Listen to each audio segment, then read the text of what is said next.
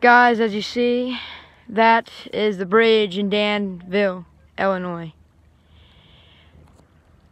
The bridge was built in 1860, before Abraham Lincoln was president, to haul slaves and farmers.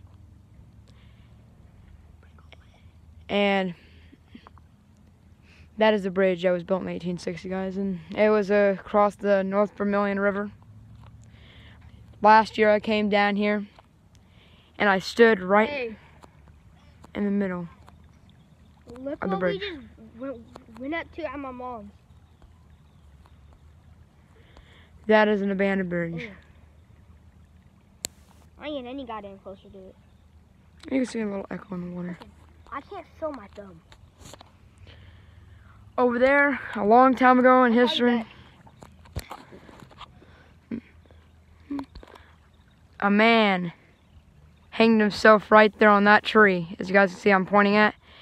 A man hanged himself on that tree because his wife just died. His children actually got into a car like on that bridge when it was still open.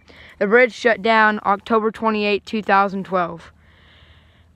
And I was born in 2007, so um, yeah, the bridge was still open when I was born. Um,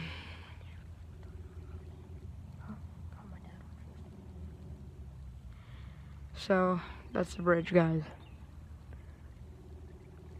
And it's peaceful out here. There's another bridge. As you guys can hear, there's another bridge over there. Uh, cause since this bridge shut down, they have a new bridge over there.